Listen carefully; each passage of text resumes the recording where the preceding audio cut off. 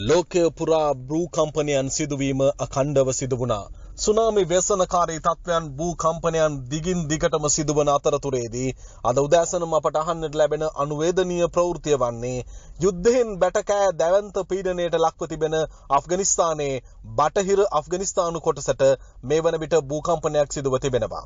ඒ අනුව පුද්ගලින් විසි දෙදෙනෙකුට ආසන්න ප්‍රමාණයක් මරණයට පත්ව තුවාල ලබා ඇති බවටත් තොරතුරු වාර්තා වෙනවා. මැග්නිටියුට් එකක පහයි දශම තුනක ප්‍රබලත්වයකින් යුතු මෙය සිදුව තිබුණේ නැගෙනහිර කොටස කලා ඊනාව් නම් ප්‍රදේශයේදී. ඒ අනුව the capital of බද්ගිහිස් ප්‍රවින්ස් යනුවෙන් තමයි වාර්තා කරන්නේ.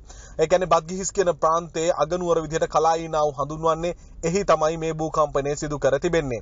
කෙසේ වෙතත් 22 දෙනෙකුට ජීවිත අහිමි කරමින් තවත් තුවාලකරුවන් ඇති කරමින් සිදුවුණු මේ ඛේදවාචකය පිළිබඳ අප බරපතල ලෙස කනගාටුව ප්‍රකාශ කරනවා. හේතුව ආර්ථිකමය වශයෙන් දැඩි ව්‍යසනයක සිටින යුද්ධය නිසා දැඩි ලෙස බැටකමින් සිටින මිනිසුන්ට භූකම්පන වලින් මෙවැනි ආකාරයේ ඛේදවාචකයන්ට මුහුණ දීමට සිදුවීම කොයි තරම්නම් කනගාටුදායකදයි අපි අමුතුවෙන් කිව යුතු නැත.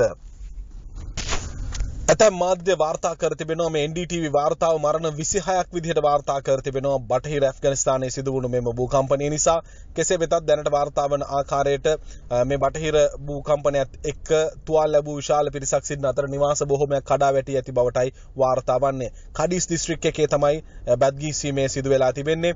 The shallow quake was magnitude 5.3 according to the US Geological Survey.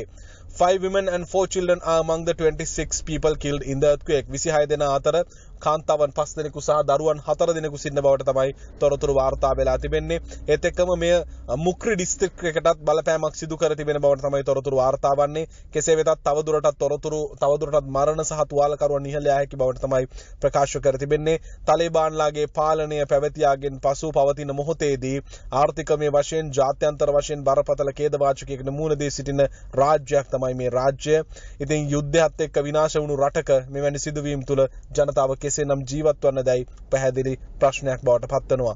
ඇෆ්ගනිස්තානයේ නිරන්තරයෙන්ම භූකම්පනයන් වලට මුහුණ දෙන රාජ්‍යයක් ලෙසයි හඳුනාගෙන තිබෙන්නේ. මීට පෙරද ඔවුන් බරපතල ගණයේ භූකම්පන වලට මුහුණ දී විනාශයන් රැසකට මුහුණ දී තිබෙනවා.